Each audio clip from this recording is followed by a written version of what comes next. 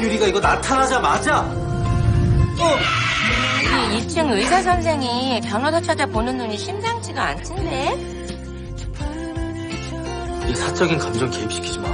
과거에서 한 발짝도 벗어나지 못. 사실 귀신을 뽑고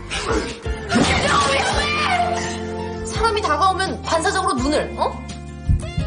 감을 수도 있는 거잖아, 그치?